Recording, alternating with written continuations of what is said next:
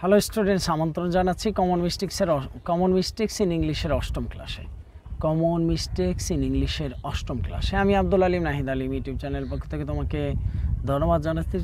ধন্যবাদ জানাচ্ছি। তুমি আমার চ্যানেল নতুন হয়ে থাকলে অবশ্যই সাবস্ক্রাইব করে দিবা।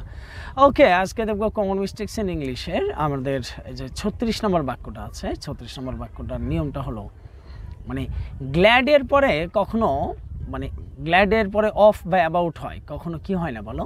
ফ্রম বা উইথ হতে পারে না। যেমন আমরা সচরাচর বলে থাকি যে I am glad from the news বা উইথ দ্য নিউজ ভুল। উত্তর কী হবে বলো? I am glad of the news বলো I am glad of the news বা অ্যাবাউট দ্য নিউজ আচ্ছা কিন্তু কোনো ব্যক্তি ফলাফলে যদি আনন্দিত হয়, তাহলে আবার গ্ল্যাড অ্যাট হয়। যেমন he is glad at having received a good mark so he is glad at having a good mark in the examination okay good at হয়।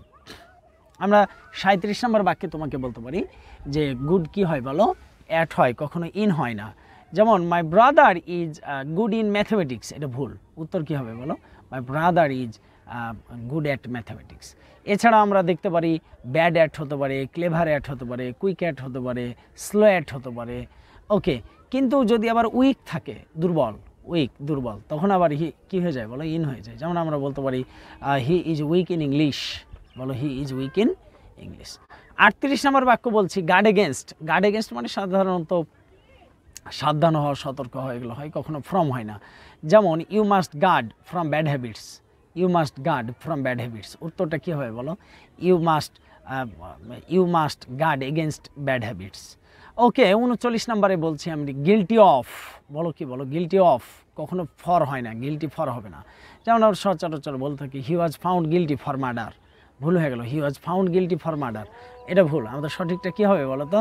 He was found guilty of murder he was found guilty of murder চল্লিশ নম্বর বাক্য বলছি independent of হয়, কখনো from হয় না। He is independent from his parents কিন্তু এটা ভুল হয়ে গেল। আমাদের সঠিক উত্তর দাঁড়াবে he is independent of his parents বলো he is independent of his parents তবে আর একটা বিষয় আছে, যদি একটা শিশু তার পিতামাতার উপর নির্ভরশীল হয়, তাহলে আবার ডিপেন্ডেন্ট অন হয়। যেমন এই child is dependent on its parents a child is dependent on its parents ধন্যবাদ তোমাদের সকলকে।